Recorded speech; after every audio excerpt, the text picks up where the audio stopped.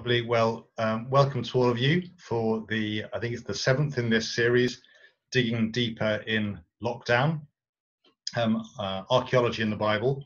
Uh, last week we were looking at the um, Holy Land, um, and uh, tonight we're carrying on in some ways with where uh, Jesus and the uh, ended and the early church began, going through the book of Acts and following the journeys of uh, the Apostle Paul. So the title is In the Footsteps of, of Paul.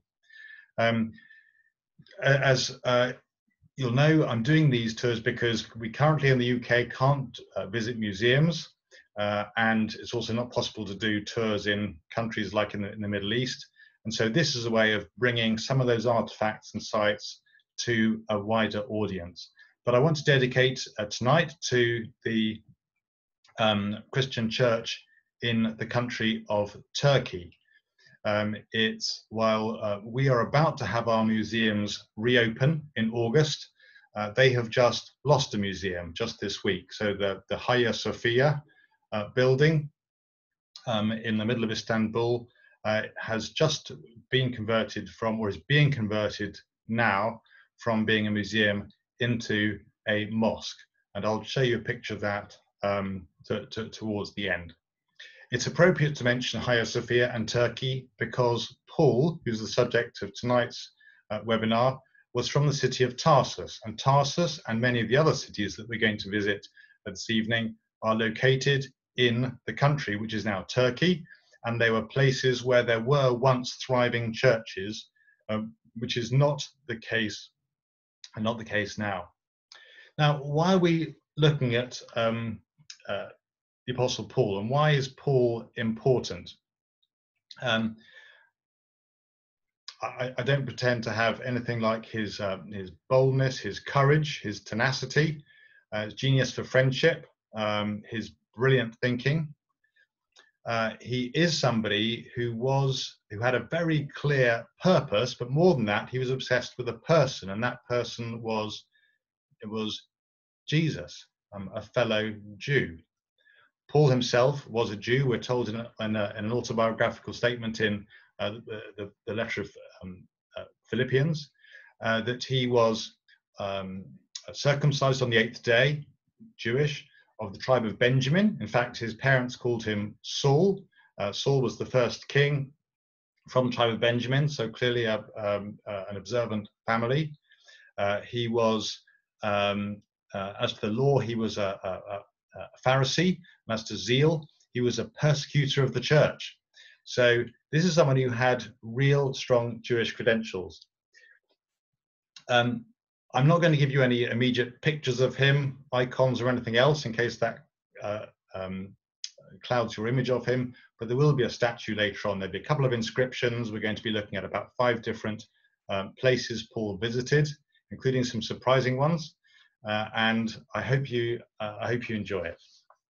Um, the format's going to be the usual one. There's going to be 10, um, 10 parts to this. At the end, a brief reflection as to why Paul matters. Um, and then um, there'll be, I'll turn off the recording, then there'll be a chance for some Q&A for those who are watching this, uh, watching this live. So I'm going to begin with a map for you all. Um, so you can see um, where we are. There's, there'll be a mixture of people watching this. Um, the principal source for things we're looking at tonight um, is the Book of Acts. The Book of Acts is largely narrative uh, and was written um, by Luke, a friend of Paul's. Uh, Luke is somebody who we mentioned in an earlier webinar um, on the Bible in the Ashmolean. So uh, the book of Acts uh, is 28 chapters, begins in Jerusalem, which you can see in the bottom right hand corner of your screen, hopefully. Uh, and the book ends in chapter 28 in Rome.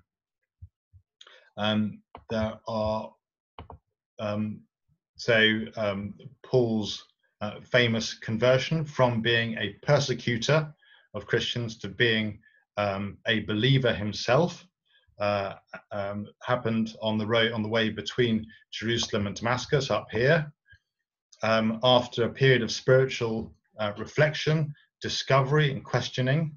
Um, he is based here in the, the city of Antioch, from where in Acts chapter 13 he is sent off um, on a missionary journey.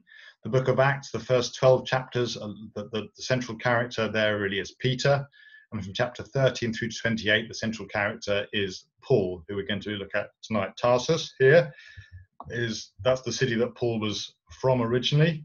Colossae, we're not going to be mentioning. Uh, Ephesus, we'll get a mention. We're going to talk a bit about Troas and Assos here, where there was a, a, a walk that Paul did, which is probably significant.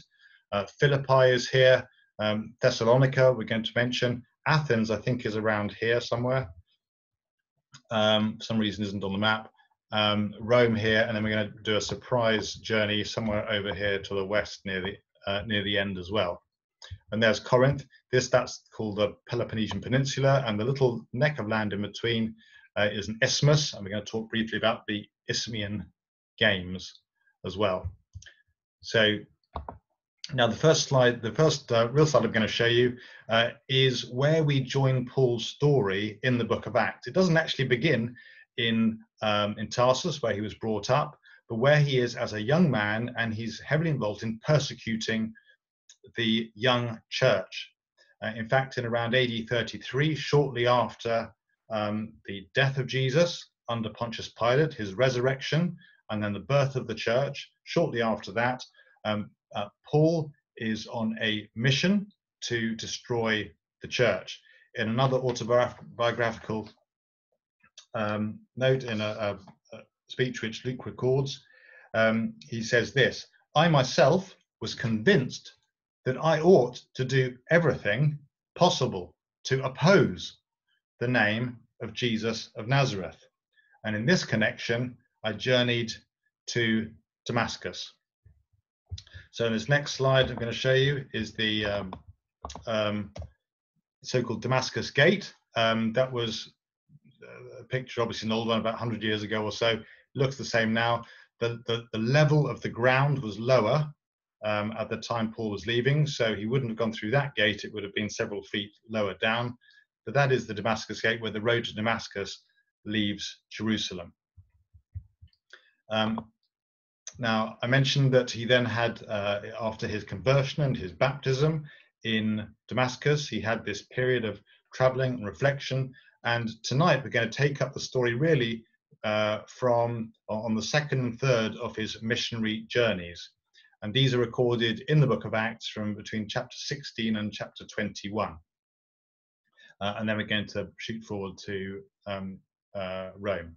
So on his second missionary journey, um, uh, and by the way, a bit like with the Holy Land, I found it very hard knowing uh, what to select for you. Uh, I've chosen hopefully a mixture. We're not going to do just ruin after ruin after ruin because I think, uh, uh, being really honest, unless we're real specialists, we can't often tell the difference between one ruined uh, Roman marketplace and temple and, and, and, another necessarily.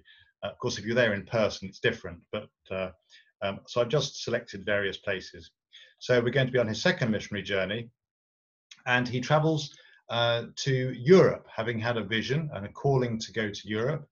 Uh, he goes to Philippi, which is a Roman colony, and from Philippi to um, Thessalonica or Thessalonica. Um, now that's where the uh, when he writes his letter, one and two Thessalonians, that's written to the Christians in that city. Um, and Thessalonica is interesting because um, there uh, uh, Luke refers, Luke, the writer of the book of Acts, refers to um, Paul and his companion then Silas being dragged before people called the politarchs. Now, the politarchs is a very specific uh, title, it's specific to uh, that area of um, northern Greece, where around, around Thessalonica, and um, uh, in in my Bible, which I use currently, the, the ESV, it's um, it's helpfully called the, um, the, you know the city authorities uh, because politarchs I wouldn't know what that was, so um, they sort of helped me along like that. But interestingly, there are very few references to um. There are uh, just a handful. One of those references in archaeology is on an inscription from a gate in Thessalonica uh, the gate was um, destroyed in 1867, but the inscription itself is now in the British Museum. And I'm going to show that to you in a minute. It's in the, it's in the basement. And um, it refers to the word politarch. Um, this is significant because it shows A, Luke was there, um, traveling with Paul, and therefore was familiar with the local titles. There's no way you'd know that if you weren't hadn't been in that area. And the second thing, it shows what an annoying person Luke was. Uh, I'm a lawyer. There's a range of lawyers. Some are very obviously lawyers, some less obviously so. The very obvious ones, um, well, I don't need to don't need to tell you. So Luke is one of those people who is actually very pernickety. So the fact he uses politarch rather than a more helpful phrase like the city authorities shows you the sort of person he was. And because he's that sort of a person, he's very unlikely to get any factual thing wrong, which means he's a very reliable historian. That's important to realize when we're looking at this book of Acts, uh, which gives us so much information. I'm going to show you now the inscription. Here, if you've been on one of my British Museum tours uh, and it was open, I'll have shown you this. Um, here we are, and um, here we are. Now a little bit of Greek for you here. Politarch is there shown at the beginning. There's a P, a pi for P. Oh, look, that's a lambda that goes up like that. And anyway, there's a, you can just see a, of various letters there to either A, there's an, a, a rho, a R, looks like a, looks like a P, R, then an x, a K at the end. Politarch, that's the word politarch. And that there are only a handful of places where um, that word occurs in the whole world. And the, the reason I'm showing you this is to um, give confidence in the, the reliability of Luke uh, when he's recording recording facts. Now, unfortunately, Paul didn't last there very long. Um, he had to uh, leave uh, Thessalonica. Um, he was chased out, and he ends up then in Athens, uh, not Athens, Georgia, of course, but Athens, Greece. And in Athens, um, he is on his own but he can't help himself. And this is interesting. You wonder what sort of person is Paul? He can't help himself. He starts debating in the synagogue uh, and in the markets with people there in Athens uh, about the resurrection of Jesus. He gets a hearing, he gets summoned to the Areopagus. Now, just like uh, we talk about, uh, you know, Westminster says, or Moscow says, or the Kremlin says, or the White House says, quite often places and the institution get mixed together. So the Areopagus both refers to a place, uh, Mars Hill, Ares, um, the god of war, Mars, god of war, um, Greek and Roman terms, um, and also it refers to the the um, the group or the committee or society that met there, that were based there, the Areopagus. So Paul gets called before this group the Areopagus, um, and what you can't tell um, unless you go to Athens is just how close the Areopagus is to the Parthenon. Um, the Parthenon is the, um, the temple that was built to the goddess Athena, Athens, Athena, um, and it was already half a millennium old by the time Paul uh, arrived in Athens. And um, um, when you go there, and I'm privileged to have been there, to stand on the Areopagus, you just realize, just looking over your shoulder, that the Acropolis, the hill with the Parthenon on top, is only just behind you. And it gives special color to what Paul uh, says when he's there. Now, I did probably, I'm not the first one, or I won't be the last one to do this. It's very hard to resist uh, doing an address a bit like Paul. Um, there we are. Men of Athens is how he begins his uh, his address to the Areopagus in Acts 17. But midway through his address, uh, Paul says, God does not live in temples built by human hands, uh, as though he needed anything. Well, I wonder what particular temple might have come to mind. Well, the Parthenon was just over his shoulder. Um, so quite an extraordinary claim for Paul to make. And he says that even that the worship of idols that they had, um, he said, in the you know, God is now overlooking such ignorance that we were subject to in the past. And he accuses the Athenians of being in ignorance. Uh, but now God calls all men everywhere to repent or to turn. Um, Athens, I'm just taking you here now so you can uh, have a glimpse of it. Uh, the other thing I've got for you here, I'm excited to share with you. Um, I've got a stone, you know my habit of picking up stones. Here we are. So this is a stone, I, I wrote acro on it, which stands for the Acropolis, because otherwise I can't remember which stone is which. So that's a stone I picked up from the top of the um, Acropolis. Um, it didn't all fall down. Um, it's not one of the Elgin marbles, uh, and I'm not planning to return it. So that's just my little bit of stone that sits with my other uh, stones from nice places I've been to. Now, from Athens, Paul left and he went to um, the city of Corinth and he crossed that narrow neck of land. Do you remember I showed you that? The isthmus, which gave its name to the Isthmian Games. Now, um, we've all heard of the Olympic Games every four years. And guess what? They took place Mount Olympus. Um, here we've got um, the Isthmian Games, and they took place by the Isthmus, which went uh, across and took you across the Peloponnesian Peninsula and to Corinth. Those games took place not every four years, but every two years. During those games, as in the Olympic Games, there was a truce between warring countries who were participating. And that means that because Paul spent two years in Corinth, we're told, that he would have been there during at least one of the games. Now, as a tent maker, he would have been in much demand because games required lots of tent making. I mean, Olympic villages, there were lots of needs for people to be involved in that trade. And we're told in the book of Acts that that's what Paul did. Um, he worked with uh, Priscilla and, uh, and Aquila. And he was there for a couple of years. And I've just got, um, uh, this is going back to Oxford, uh, to the uh, cast gallery. Um, here I've got a picture here of a wonderful um, statue. This is a boxer in the cast gallery. Um, you can see his bound hands there. And uh, interesting question, what was Paul's attitude to sports? Well, he knew about sports.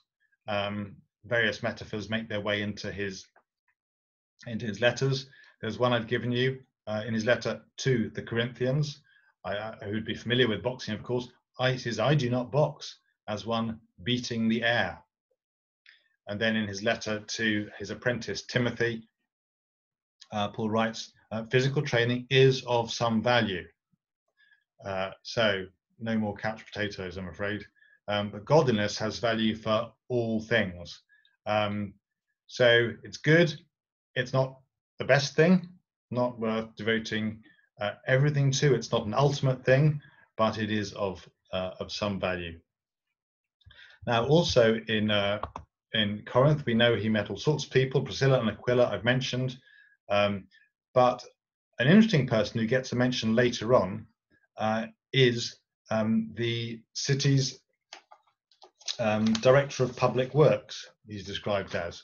And so, at the end of the book of Romans, um, uh, Paul, writing from um, Corinth or the neighborhood of Corinth, writes to Rome, and he tells the church that Erastus, the city's director of public works, sends you greetings.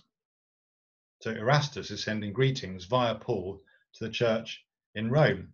Now, amazingly, we know something about a person called Erastus who was a city official uh, because he uh, paved um, uh, an area of Corinth at his own expense, and there's an inscription that shows it. And the inscription doesn't just have his name, Erastus, it is a first century inscription. So I'm going to show you a picture uh, here. The person you can see in the background is uh, Mike D'Souza, who was best man at my wedding. And there you can see um, uh, along here, you can see um, you can see uh, Erast, Erast, Erastus there, pro uh, aedile. He, that was his his role uh, for his aedileship. SP stands for Suaca Pecunia. At his expense, Stravit laid the pavings uh, here.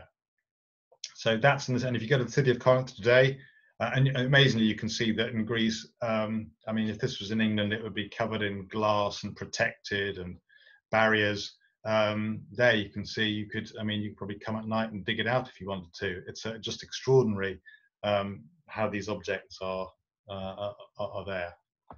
Now, um, after Corinth, Paul briefly goes to um, Ephesus, then back to Jerusalem, and then he comes back to Ephesus a second time. And Ephesus is our next stop. Now, Ephesus, or Efes as it's called now in Turkey, E F E S, uh, there's also a very nice beer called the Efes beer. Um, so uh, it's an interesting place. Ephesus um, uh, is traditionally, it's the place where Mary died Mary, Jesus' mother. So, what on earth is she doing there? Nazareth? To, well, if you remember, Jesus on the cross um, gave Mary, his mother, into the charge of John. Um, John, the youngest of, of apostle, uh, uh, is believed to have ended his days in Ephesus, taken Mary there with him, and um, uh, Patmos, uh, the area where he, uh, the writer of Revelation says he was at the time of his um, receiving his dreams and his revelation, um, is just off the coast of, of Ephesus. So there are reasons for thinking that might be true. But one thing we do know for sure is that Ephesus was the site of the Temple of Artemis or Diana, so which was one of the seven wonders of the ancient world. And it's it was absolutely huge. There was an archaic temple uh, which was vast, and uh, that uh, I think came down in an earthquake around 367 BC. And then um, there was a new temple built that was um, already well recognized and established by the time Paul got there uh, uh, in what we're going to be looking at now. So I'm going to show you now, these are both um, uh, scenes in the British Museum, pictures in the British Museum. Um, here we are, there you can see my two children. It's not very good parenting, is it? That I'm sure no children were harmed in the making of this webinar. So those are my two. Um, they weren't actually holding it up, but it looked fun. Um, they're now um, very healthy 20 and 18. Um, but I, I, hope that gives you some idea of the sheer size of what that temple, the old temple, must have been like if that was sitting on top of one of its uh, pillars. And on the right, there is the, I want to call it the modern temple, not really modern, it's from first century. So the, the, the temple, um, and that column would have been seen by people you and I's names will recognize Timothy, Priscilla, Aquila, Apollos, and Paul himself. So this is a reminder that these places uh, are, you know, real, and you're looking at something that would have been seen by one of these people. I mean, what were they wearing? How were they feeling that day? Had they had breakfast with Paul? Had they? I mean, it's just extraordinary. Were they on their way to the lecture hall of Tyrannus, where Paul was doing his daily uh, Bible studies?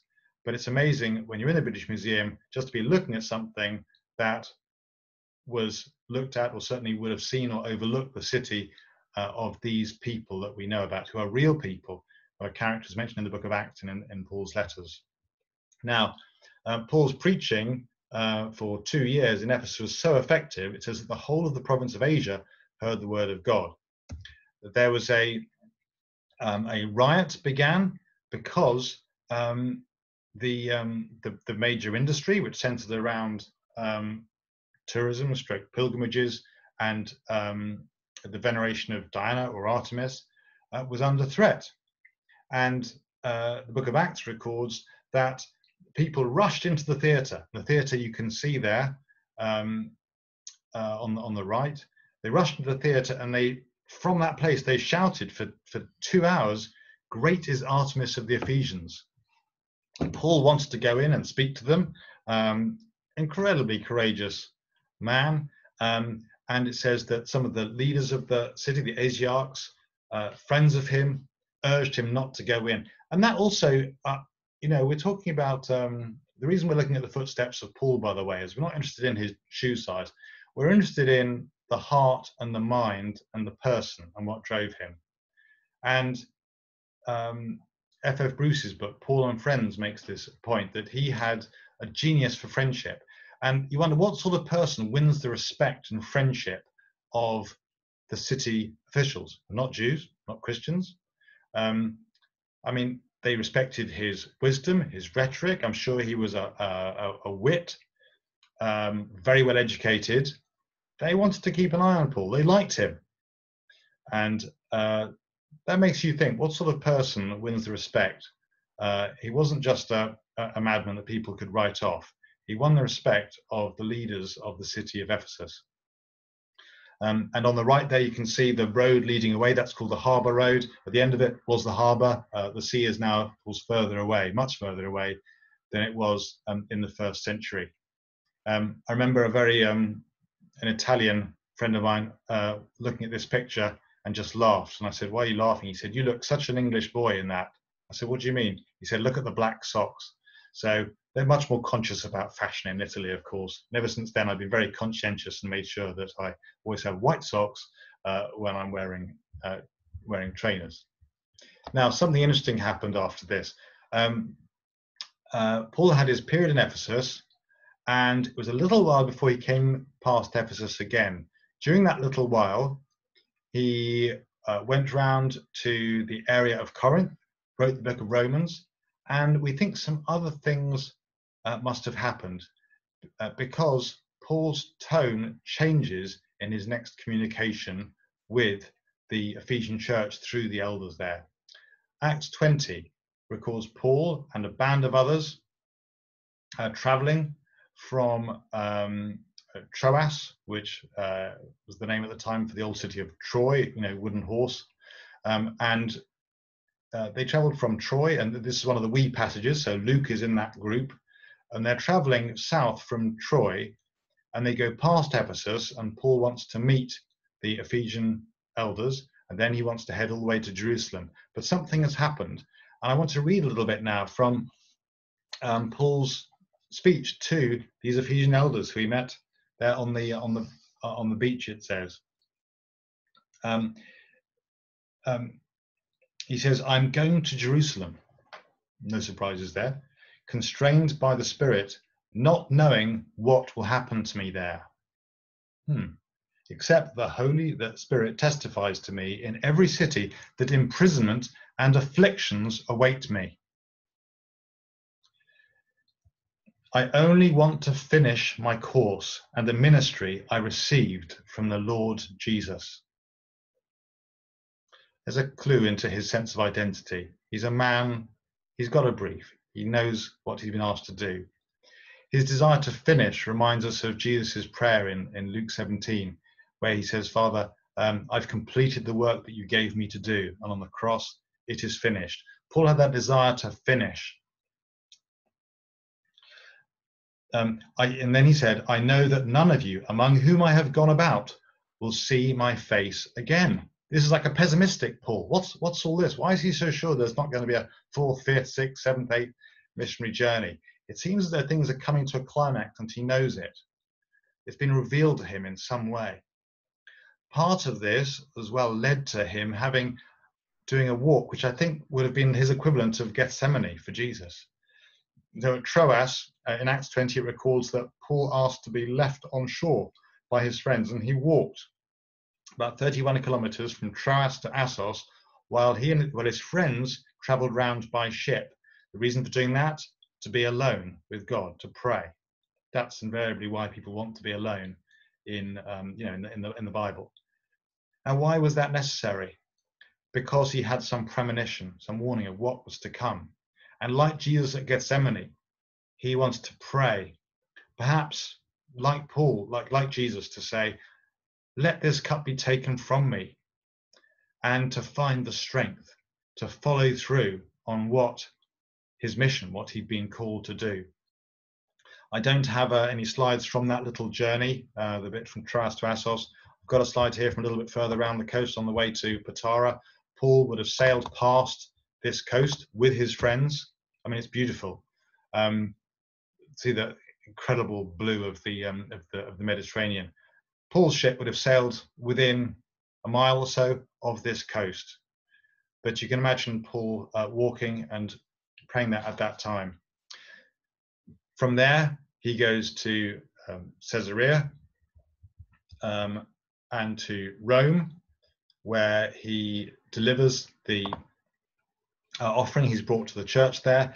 Uh, he is then um, uh, grabbed by a lynch mob in the uh, in, in in the temple, and is rescued by the Romans and taken into Fortress Antonia. I showed you some pictures of that in our last, in our webinar last week from, uh, from the Holy Land. Um, he's then taken, and he's then in Caesarea uh, for two years in prison. Um, that's one of the possible places where he may have written the, the prison epistles there or Ephesus or, or, or, Rome. He's there for two years. Again, for more on, on Caesarea, please look back to my webinar last week. Um, and uh, he then travels by sea uh, there's a shipwreck, and he ends up in Rome. Uh, there's a fire, there's a snake. It's a bit like the adventures of Paul. Now, it's interesting, in antiquity, who else began their, a journey in Troy and ended up in Rome? Well, none other than the founder of, of Rome, Aeneas, in uh, Virgil's Aeneid. And that point, I'm sure, wouldn't have been lost. And uh, Luke describes this epic voyage of Paul's, and he ends um, uh, his book, The Acts of the Apostles, in chapter 28 with Paul in Rome for two years, um, preaching without hindrance the kingdom of God. But it doesn't end with Paul's death. Uh, I promised you a, a, statue or representation of Paul. Um, here we are. We've now got to Rome, and there is in St. Peter's Square uh, an yeah a wonderful statue of the Apostle Paul. He's got a sword, uh, you see, in his right hand. Now, that's a clue, by the way. Um, uh, if you see a statue of a man with a beard, it could be any one of the um, any one of the apostles. But if he's got a bunch of keys, he's not a locksmith. That means that's Peter, who was given the keys of the, of the kingdom um, in uh, Matthew 16. And if he's got a sword, then you're looking at Paul. Now, why has he got a sword? Interestingly, um, when I was on a, a, a, tour group in Rome, our Italian tour guide said, "Oh, Paul has a sword because he used to be a Roman soldier." Well, the, the group I was with um, also that cannot be the case, um, and we quoted that passage that I mentioned at the beginning, circumcised on the eighth day, uh, of the tribe of Benjamin, uh, a Hebrew of Hebrews, and uh, and she said, "Oh no, we know he's a Roman soldier because of his sword. I mean, it wasn't her fault. She'd been trained that way. But of course, the reason he has the sword is because, by his own admission, Paul had been a persecutor and a violent man. Uh, there may also be references to him being a um, wielding the sword of the Spirit, Ephesians 6 17, for his preaching and traveling. Um, but a bit of background that's Paul in Rome. But his story doesn't end there. Now, let me tell you a little bit now, and you, I'm not sure if you, you can work out where we're going next. Um, one of the um, early popes, as they became known later, uh, bishops of Rome, was called Clement. And in a book called um, uh, 1 Clement, he wrote this about Paul. Now, Clement is writing towards the end of the first century. So this is only 35 years. I mean, he probably knew Paul. I mean, as a very old man, or might have met him. I mean, he would know certainly know people who knew Paul. And Clement writes this: um, After Paul had been seven times in chains, well, it's fascinating. There's lots we don't know about Paul. If you look through the list of all of his trials in 2 Corinthians, half the things we don't know when they happened. Um, I, I, wish we could see the extended version of all the, the, the outtakes from the book of Acts sometime. He said, after he'd been seven times in chains, had been driven into exile, had been stoned, and had preached in the East and in the West, he won the genuine glory for his faith, having taught righteousness to the whole world, and having reached the farthest limits of the West. Well, where was the farthest limits of the West? It wasn't Rome. Those of you who are familiar with the film Gladiator will know that uh, Spain, or the Iberian Peninsula, was had been a, a, a joined up, was part of the Roman Empire uh, since the reign of Augustus, was firmly part of the Roman Empire at the time of Paul. Um, we also know that Paul had aspired to go to Spain. Um, now, my next picture, I've, um, I'm very pleased. I've got my friend uh, Steve Schneider is watching here today. We went and did a little stretch of the um, the Camino uh, de Santiago in Spain um, last year, and at the end, I took a break and I headed to Segovia, um, where I've got friends and saw this amazing Roman aqueduct, which is it's from around the first century. There's actually no date on it. Most likely was built during the reign of Trajan, actually, just very start of the second century. Uh, for more on Trajan, do see our uh, a previous webinar on the Bible in the Ashmolean. But it's an extraordinary um, uh, construction. Um, I asked my friends who I was with, I said, well, what, what, why is this, um, you know, why hasn't this all been taken apart and used to build churches or other structures? Because that's often what happens with these old buildings. And my friend said, no, it's because this was used still to carry water as recently as 50 years ago. That's why it was never taken down.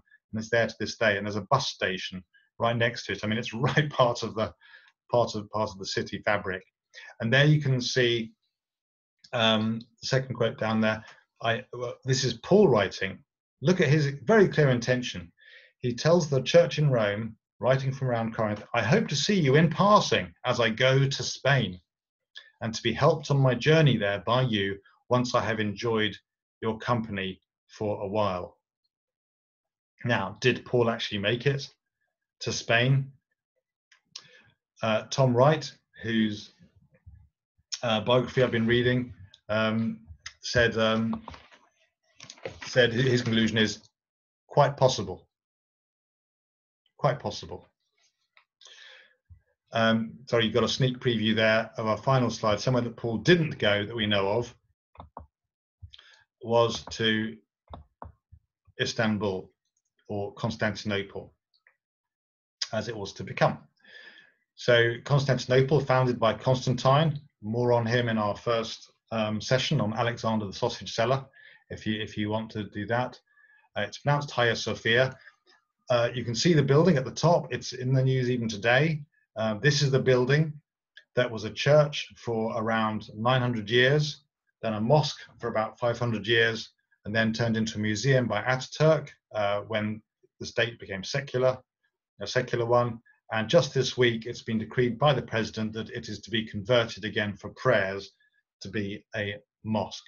It was built in 537 by the Christian Emperor Justinian, and it's repeated that at its opening, he very modestly uh, fell on his knees and said, Oh, Solomon, I have outdone thee.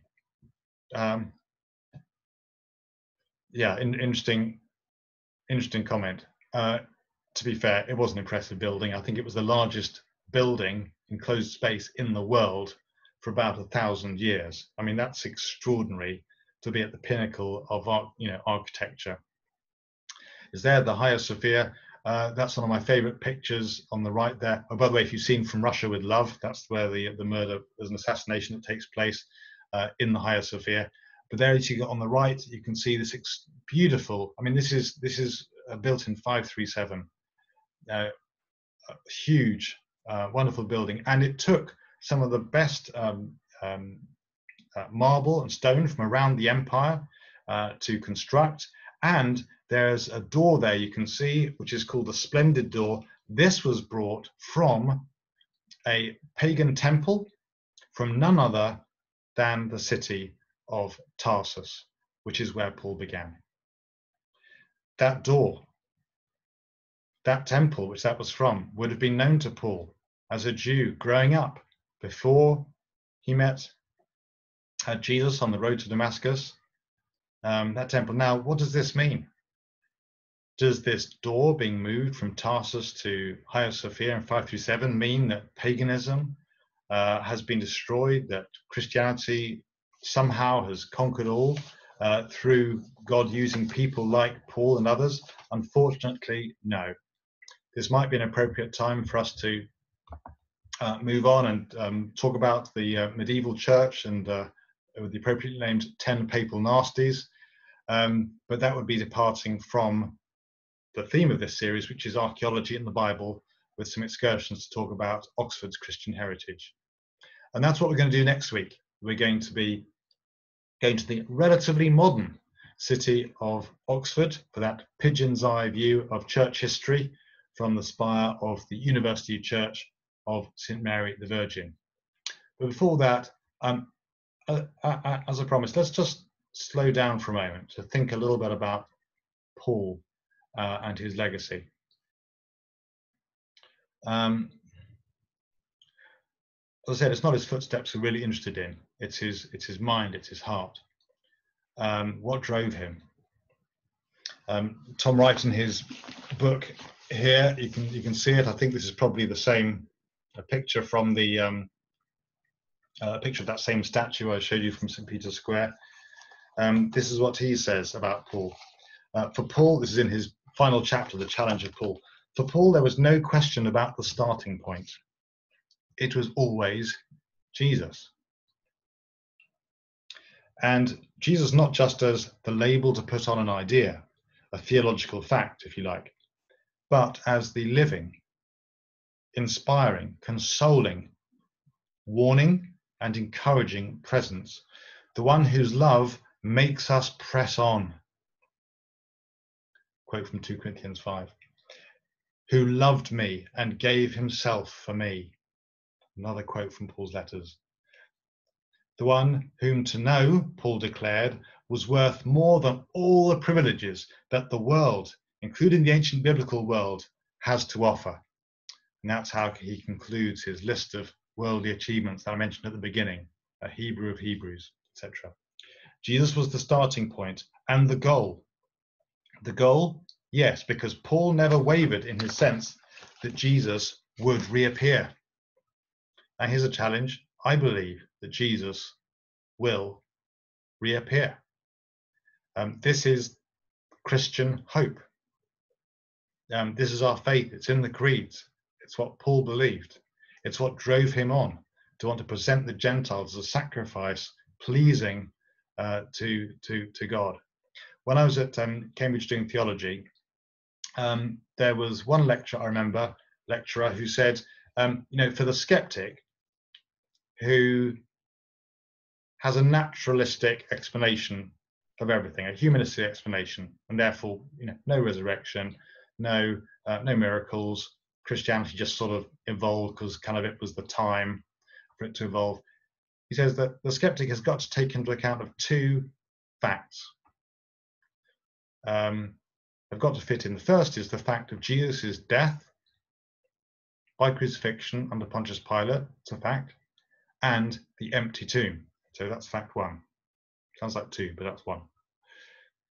Second fact is the conversion of the man Paul.